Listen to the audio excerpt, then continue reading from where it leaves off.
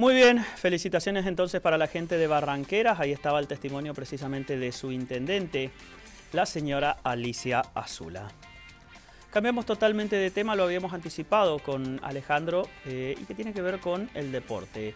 Hay que decir que el Club Estudiantes en las últimas horas dejó formalmente inaugurada una serie de obras precisamente eh, que pertenecen a dicho club.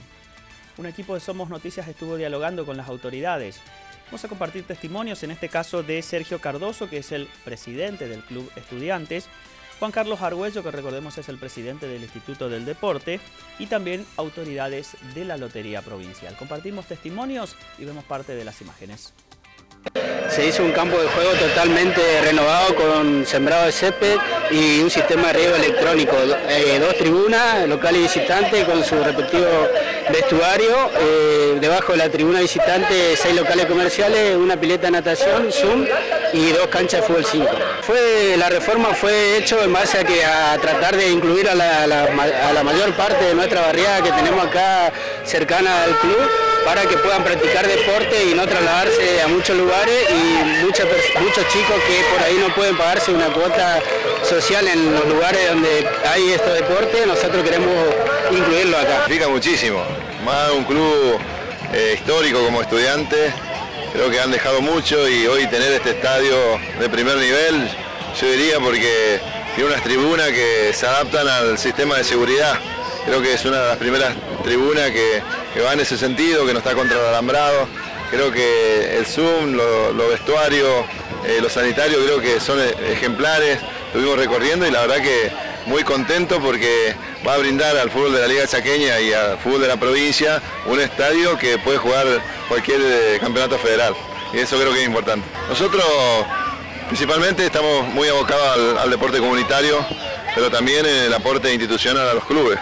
En ese sentido, el ingeniero Oscar Domingo Pepo, el gobernador de la provincia, es muy claro.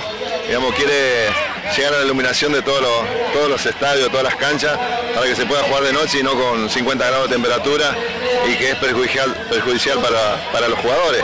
Creo que en ese sentido hay una impronta muy grande del gobierno de la provincia de, entrar a, hacer muchas infraestructuras en los clubes para el beneficio de la comunidad. Esta cantidad de chicos que vemos acá en el club, debe haber 200 chicos en este momento más.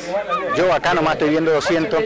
Justamente eh, el apoyo de los clubes está dirigido a ellos, justamente donde tengan un lugar de contención, donde puedan estar, aprender valores. Esa es la idea de nuestro gobernador y eso apoyamos nosotros. Y bueno, la idea un poco también es seguir con esta política, replicando en otras entidades, en otras instituciones, para dejarlo en condiciones para llevar adelante no solo las disciplinas que en muchos casos cada institución lo lleva como bandera, sino en general como un espacio para que se lleve adelante distintas actividades eh, en la región, en el barrio en este caso, y que sirva justamente a la contención de la familia, porque el club es la segunda casa de, la familia y eso es lo que nosotros eh, queremos hoy eh, caminar hacia esa senda, digamos. Los clubes de barrio en toda la provincia del Chaco y en la capital, como las grandes ciudades y los pequeños pueblos, cumplen una función verdaderamente social muy importante. Yo siempre dije que hay una deuda muy importante, sobre todo del Estado hacia los clubes de barrio, por lo que los clubes eh, aportan a la contención y al trabajo eh, con la sociedad. Y creo que en cierta forma esto es una forma de ir saldando esa, deuda eh, a partir justamente de lo que se está por inaugurar acá en el Club